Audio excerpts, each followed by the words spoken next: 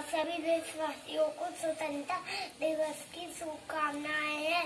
मैं कोयम सुनाने जा रहा हूँ। हम छोटे छोटे बच्चे हैं, साथ हमारे कच्चे हैं।